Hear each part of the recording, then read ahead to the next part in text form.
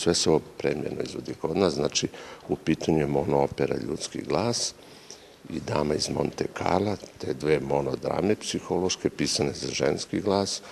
muzika Polenkova, a tekst je Žana Koktoa i kao jedan intermeco između te dve potresne drame imamo jednu, ajde da kažem, jedan relaksirajući intermeco, to je priča o slomčetu babaru, isto Polenkova sjajna muzika, koja, kažemo, upotpunjava taj zamišljeni triptih. Tri dela koje su povezane, eto tako, dramatočki u jednu celinu, koja će prvi put, ponavljam, eto, biti